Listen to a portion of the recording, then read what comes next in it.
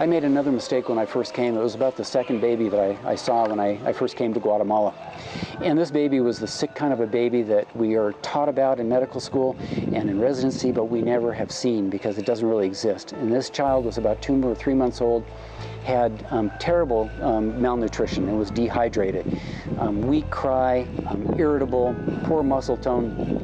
And I said to the mother, I said, look, you need to take this baby to the hospital.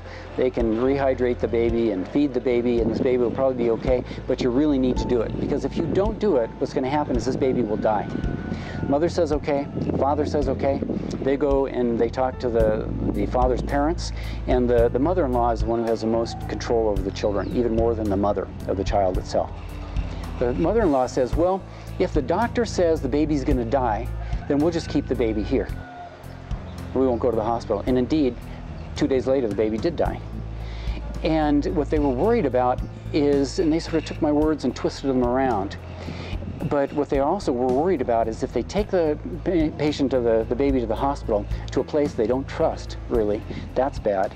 And that if the baby does die in the hospital, then it costs them 6,000 Q to get the baby out. This is a family that makes 30 Q per day. So this is lots and lots of money for them to do it. But the government, the way it's structured, is that they have to go through this mortuary process, and so it costs them more money. And so what they decided to do was to not spend the money. Now, I never say that again to the to the patients. I never use that kind of a, a tone or, or, use that kind of a, a, language to them because I don't want my words to be misconstrued. And so what I have to do is respect that what they do. This is not what I agree with them. I don't want them to do this, but I don't really have too much choice in it. And for me to, to have confidence in other venues, I've got to be able to put up with things that are pretty hard for me to swallow.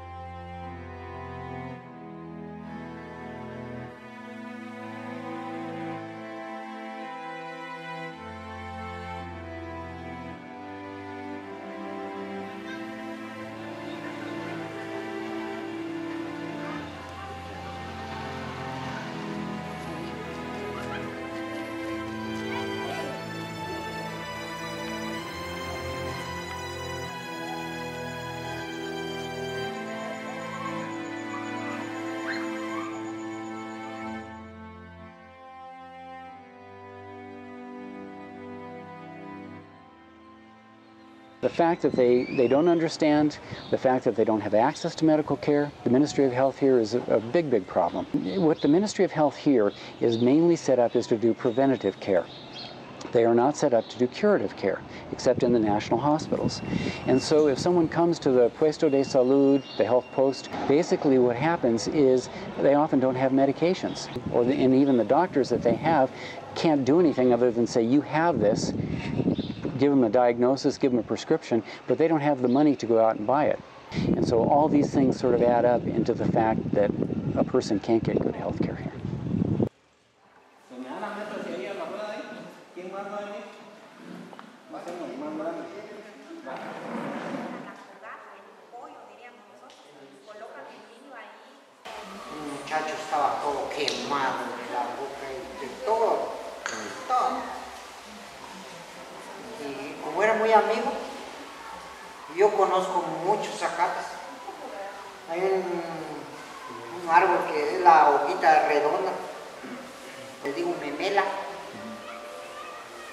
Muy fresco para un gran quemado.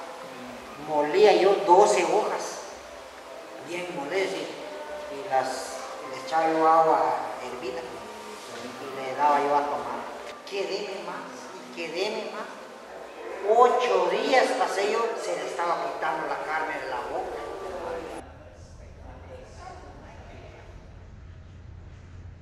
If you're Ladino and if you live in one of the cities, And Ladino is a, is a mix of, of Mayan and, and Spanish. And they consider themselves to be better than the, the Mayan. They're the ones who discriminate. If you're a Ladino, um, oftentimes you have services, you've had a better job, and you have more of a family that has more resources. Those people have, have care. In the Mayan population that we see, most of the time it's neglect. Most of the time when a person is dying, um, the family doesn't ask for too much um, for them, don't ask for too much in the way of pain control. Um, and we don't see them until oftentimes it's the last, last part of their life.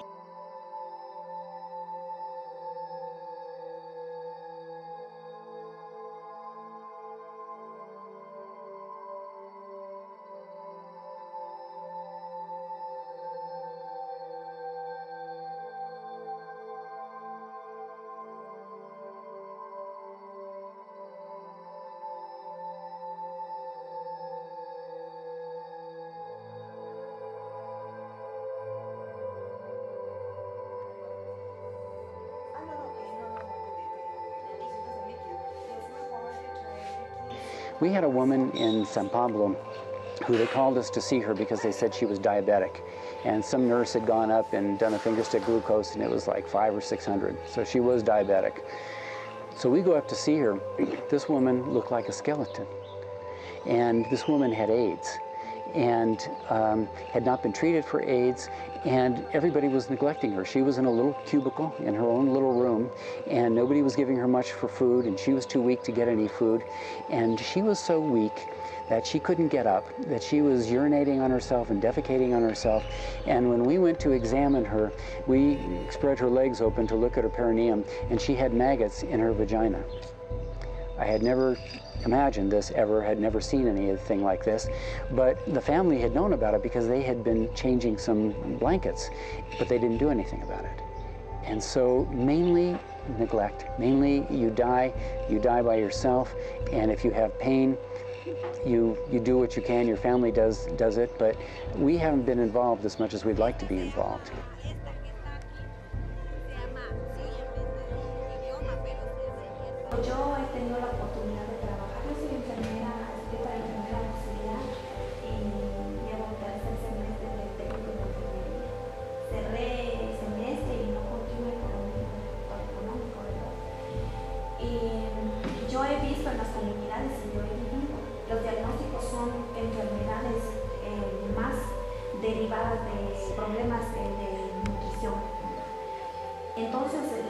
Falta de nutrientes abrir las puertas a las enfermedades, eh, las, las las eras, eh, algún otro tipo de, de, enfermedades de la piel como la sarcopiosis y sus clasificaciones, por lo mismo de la falta de conocimiento sobre de preparación en cuanto a higiene, higiene personal, higiene del hogar, todo eso, y aparte el agua que se consume. Es uno de los factores que demasiado en la salud eh, las familias. Todo eso y se ven complicaciones y se muy alto, la neumonía. La neumonía y la deshidratación, la desnutrición por el factor económico, la falta de conocimiento, la falta de educación y lo otro, la cultura. Que la gente se les algo es muy difícil. The only difference is pretty much the, the being Maya and being poor go hand in hand with one another. And it's not necessarily their, their ethnic background that causes this, other than the fact that they have darker skin than most people, and that they have this lack of education, and that there's been discrimination against them for a long time. You ask yourself, why weren't there schools around? The reason was, is because if you educate these people, then they'll want to go off and get better jobs, and then they'll cost more money to employ them. One wonders if keeping them down um, socioeconomically makes it so other businesses can hire them at a cheaper price, and therefore um, they never can advance. And so they're in this vicious cycle of what we call the, the vicious cycle of poverty, in which they're poor And so the kids are malnourished, therefore they have bad uh, cognitive function, and therefore they have poor economic opportunity, which keeps them, again, so the next generation is also in poverty, and this cycle goes on and on, generation to generation. And this has gone on since before the Spanish even came. This was a, a characteristic of the Maya. Um, I understand with the um, uh, when the Maya were, were here before they were conquered by the Spanish. Had a similar kind of a, a, stratification of the classes. And so it's been a problem for, for ages, and it just continues. It's hard for us to believe in this, uh, the 21st century, that it still exists, and with all the resources we have, but indeed it does.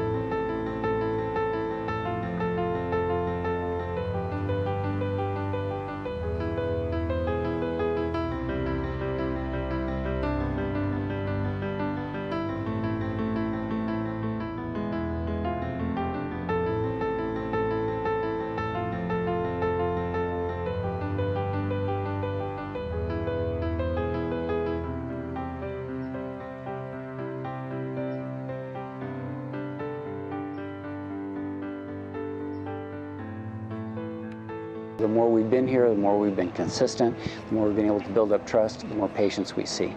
We began seeing somewhere around 20, 25 patients a week. Right now, we're seeing about 400 patients a week. And we go to different locations. Instead of just being in Santa Cruz, which is where we started, we now go to five different other locations and see patients in, in all sorts of venues um, with all sorts of socioeconomic status all poor, but some poorer than, than the others. And some of the things that we do is to use, to use medications that have a small number of doses. We use azithromycin, which has three doses that we have to give maximum. For children, we can give it in one dose. We have the other option of using uh, medications like uh, moxicillin, require 30 doses, or some cephalosporins require 40 doses for complete treatment. But our patients can't do it. They will never learn how to do it. They will never complete those courses. And so it's a waste of time for us to do that. But again, these are things that you have to learn by doing. Because we've had to learn what the patients will accept, what their expectations are, what they perceive their needs to be. And we have to tailor our medical care to that. Um, we can't get them to accept medicine the way we practice it in the United States. What we do is give a lot of injections here. And we give injections because people expect them, and that's what people consider to be good medicine. Now, I was a little worried when I first started giving injections, or so many injections, that I might cause infections. And this is a, certainly a risk. And one of the things we were always taught in medical school is give few injections because you might cause an infection we don't have infections from giving injections, and I give lots and lots of injections here. I probably give 20 a day, whereas um, in six months I may give 20, maybe not even that many in six months in the United States. And I talk to them in a certain way that they understand, examine them only by asking their permission. I don't push at all. I show them the greatest respect that I can, and I always ask permission for whatever I do. I make sure that they understand what's going to happen before it happens.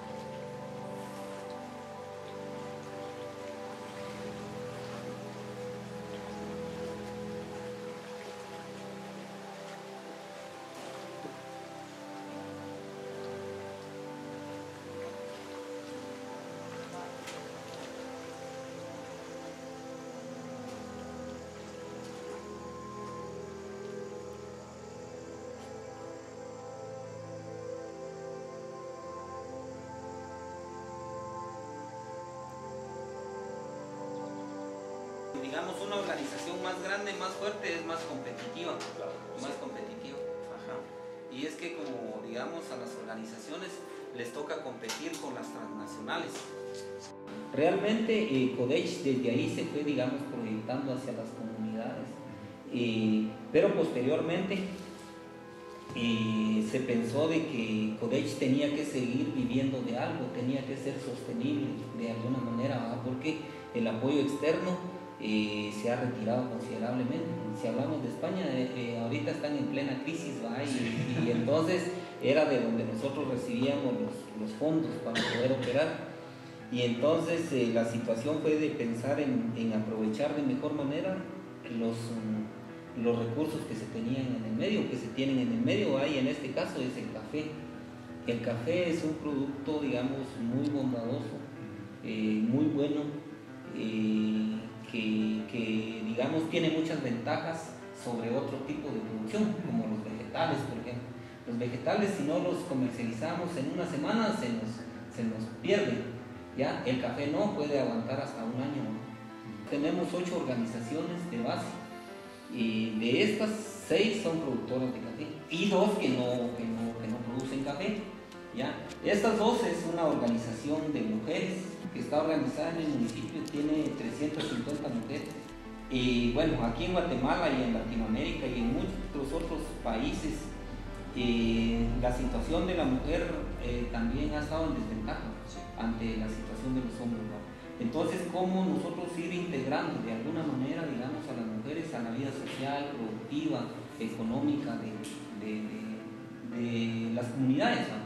Entonces, eh, es por eso que la organización de mujeres está alineada a CODECH y tiene sus representantes en, junta directiva. Y también por otro lado tenemos otra organización que no produce, no produce café, que es el Consejo Magisterial el Consejo Magisterial pues está compuesto por todos los maestros, los maestros de aquí del municipio, ¿ya? Porque nosotros en algún momento trabajamos algunos proyectos pequeños de, apoyo a la educación. Con lo del premio social nosotros apoyamos a la educación ya sea con becas, eh, con capacitaciones o con algunos apoyos puntuales ahí para la educación. Y los que conocen mejor de esto son los maestros, entonces también los maestros están agremiados a colegio. Eh, porque no estamos viendo solo la cuestión lucrativa, solo la cuestión económica, sino que lo estamos viendo un poco más. Y ahorita vamos a empezar un proceso de capacitación ahí con, eh, con las mujeres productoras para orientarles, digamos, sobre la importancia de la salud reproductiva que, se ha visto. En el municipio siempre han habido muertes maternas, eh, mortalidad infantil, también el índice eh, ante otros municipios pues es, alto. Entonces, eh, son varias cuestiones las que nosotros, digamos, vamos viendo para, para, para proyectarnos hacia hacia las comunidades.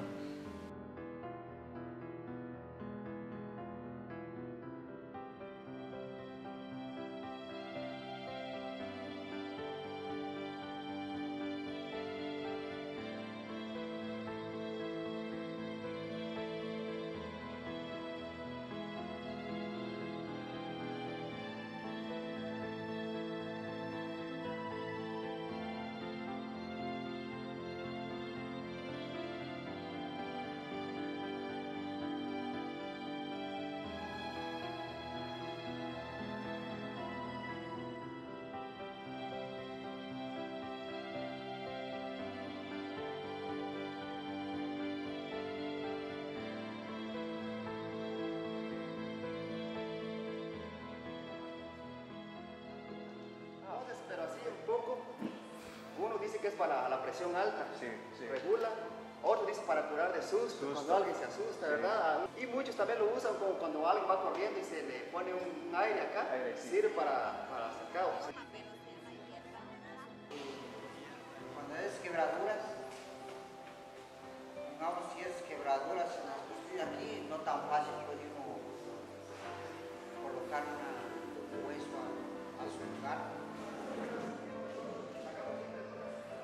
Estaban con esta planta que para muchos es muy, no tan conocida, pero este es para diarrea, ¿verdad? Para, para eliminar, para parar.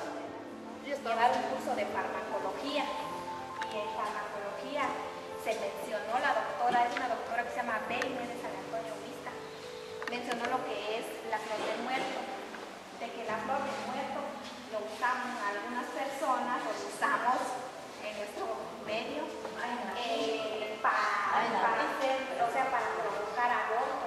Por eso es que lo que esta hace es provocar dilatación sobre las paredes del útero y expulsar